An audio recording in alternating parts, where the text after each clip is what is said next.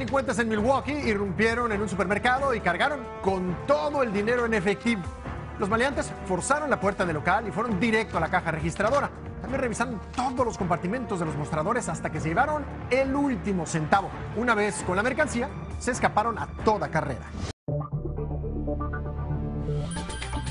Cada vez que la vida nos estremece inesperadamente, nos damos cita e investigamos para que tú estés bien informado.